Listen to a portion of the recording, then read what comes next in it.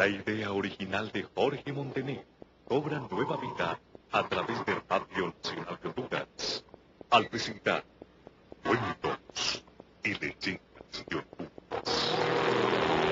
Los relatos que se vienen contando de boca en boca como parte del folclore y tradición nacional llegan hasta el más apartado rincón del país y más allá de las fronteras patrias por nuestro programa, gracias a su correspondencia.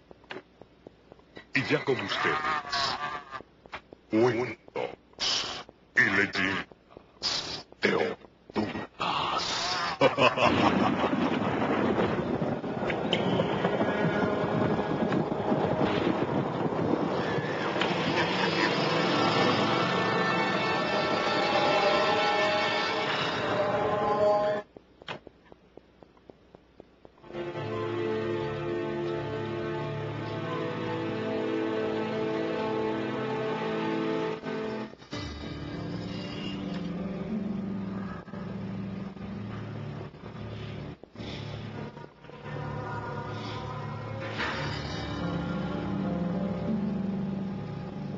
El relato que van a escuchar sucedió en la capital.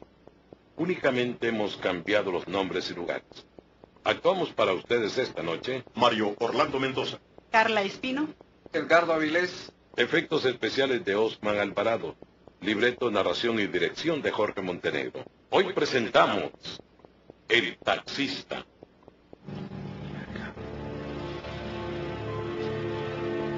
Nico era un taxista amable, dadivoso, cobraba lo justo a sus pasajeros y tenía una excelente clientela.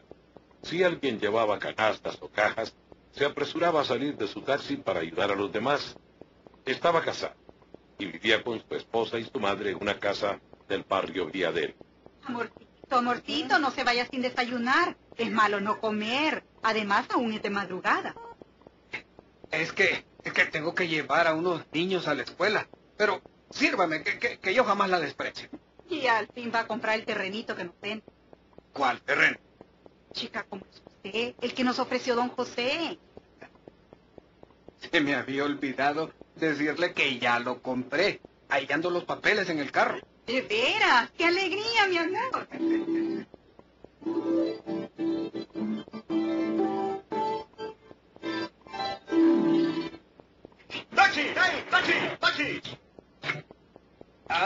Llevo, señor? Súbase. Gracias, señor. Bueno, eh, voy por el sector de Germania. ¿Cuánto me, me cuesta la carrera, hombre? Mire, lo voy a llevar por 40 lempiras. Ah, bueno. ¿Le parece? Me parece bien porque hay otros me están sacando 80 y hasta 100 lempiras, hombre.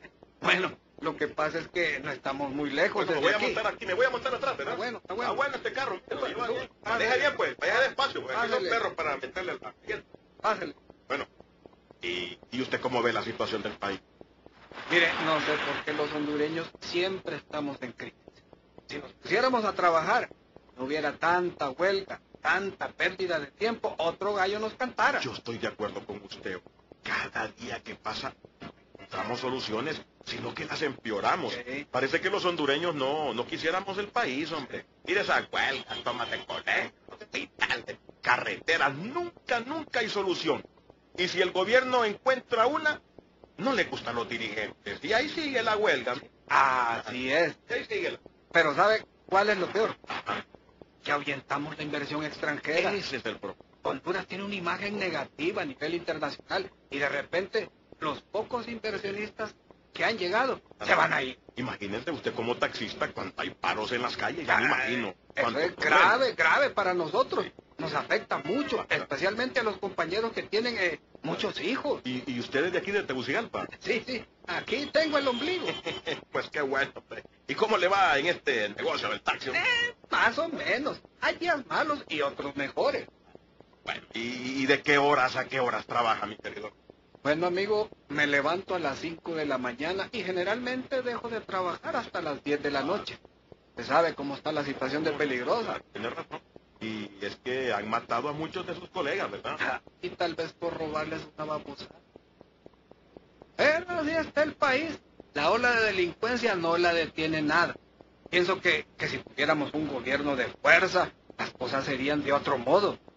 Aunque no nos gustara, pero que impusiera el orden en el país. Eso es lo que necesitamos. Estoy completamente de acuerdo con usted. Y, hombre, dígame, ¿y, y tiene esposa, tiene hijos?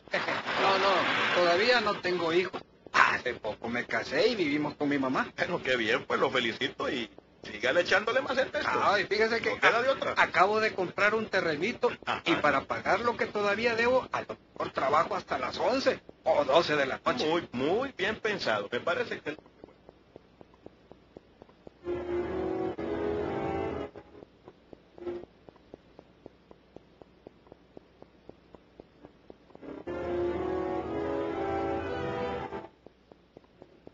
Nico cumplía con su rutina diaria y los fines de semana los entregaba a su esposa y a su mamá. La sacaba a pasear, a comer y vivían muy felices. Mira, amigo, no me gusta que estés trabajando hasta las 12 de la noche. Ya lo sé, mamá. Muy tarde. Pero es poco tiempo. Lo necesario para pagar una pequeña deuda que tengo. Mamá tiene razón. A mí tampoco me gusta ese horario que te han puesto. Sí, amorcito, lo sé. Pero ya les dije que es por corto tiempo. Un mes nada más. Mm, Bueno, si es solo un mes me parece bien, pero debes de cuidarte mucho, mijo. Mucho.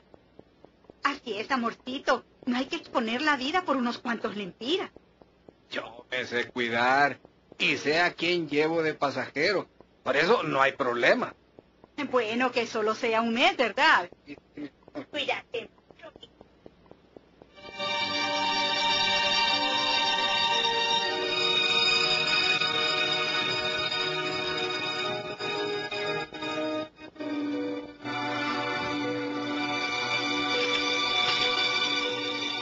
Una noche mientras dormían, la esposa de Nico, que se llamaba Amparo, escuchó una voz en sus oídos, como un susurro. Amparo. ¿Qué, qué, qué, qué, qué, quién es? ¿Qué, qué te pasa, amor? Ay, es ¿Qué que oí pasa? que alguien me llamaba. Ah, acostate, acostate. Es que estás soñando, solo fue un sueño. Ay, pero clarito oí que me dijeron mi nombre como en secreto. Acostate, amorcito, que tengo sueño. Ay, sí, sí, creo, creo que fue un sueño.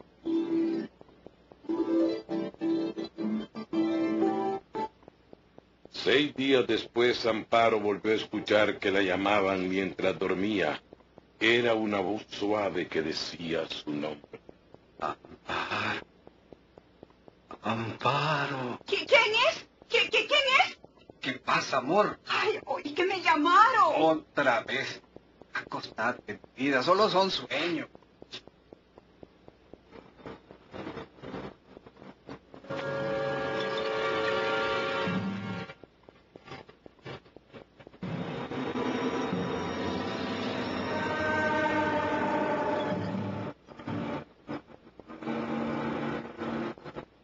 Pasaron los días y Amparo no olvidaba aquella voz que la llamaba en horas de la noche.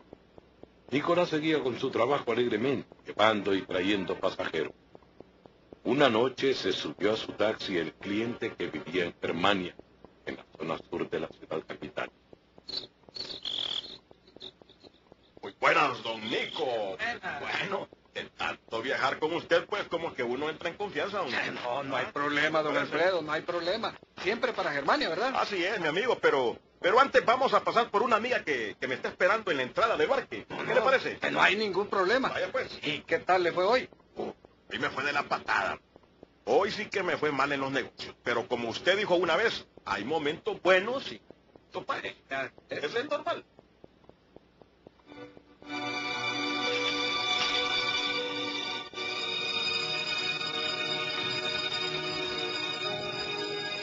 Llegaron a la altura de la colonia El Barque y ahí se subió al taxi una joven muy bonita.